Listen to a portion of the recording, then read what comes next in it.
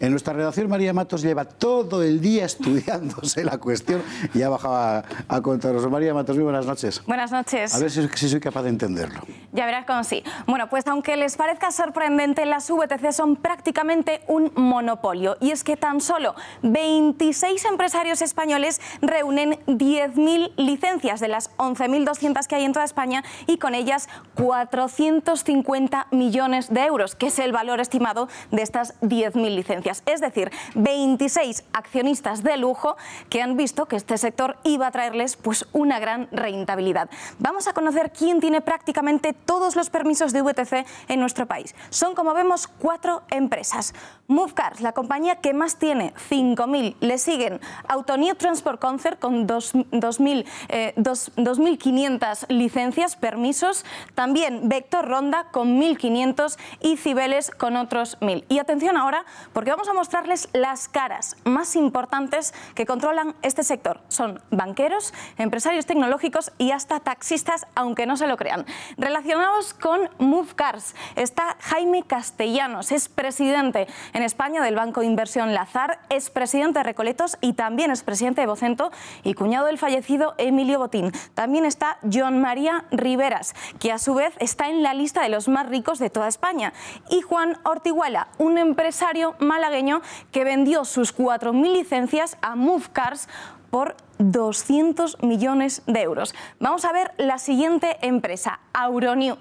Las caras más conocidas de aquí son José Antonio Parrondo. Atención, porque es el presidente de esta empresa, de Euronew, pero es que también es el presidente de la asociación, expresidente de la Asociación Gremial del Taxi de Madrid. Sí, sí, un taxista venido a rey de las VTC. Y Félix Ruiz y también Zarin Denzel, que son ambos fundadores de la red social 20 y tienen las fortunas tecnológicas más destacadas de España. Y vean esta coincidencia que les vamos a mostrar ahora en la siguiente empresa, en Cibeles. Las tres primeras caras que van a ver ahora son las mismas que en la compañía anterior, que en Auronew, y tan solo se añade a esta persona. Es Bernardo Hernández, antiguo director de Google, de Yahoo y cofundador también de Idealista. Estos que les hemos mostrado son los empresarios más destacados que en sus manos acaparan las VTC de este país.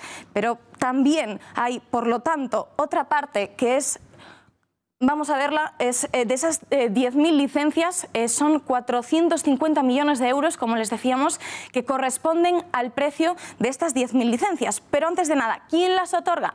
Pues lo decíamos antes, en el caso de las VTC las daba el ayuntamiento, pero prácticamente pues, es imposible conseguirlas porque han dado tantas que ya no se cumple esa ley de uno cada 30 taxis. Veamos cuánto cuestan los permisos de las VTCs. El precio inicial, según el ayuntamiento, rondaba los 40 Con la llegada de Udo y Cabify se incrementó hasta los 4.000, 5.000 euros. Y ahora ya en el mercado actual de segunda mano de reventa el valor ronda los 50.000 y 60.000 euros. Un incremento de un 1.000%, como vemos.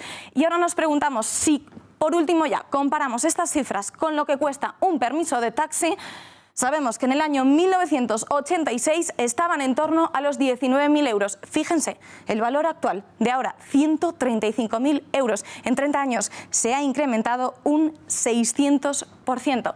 Estos son los datos, José Javier. Muchísimas gracias, María Matos.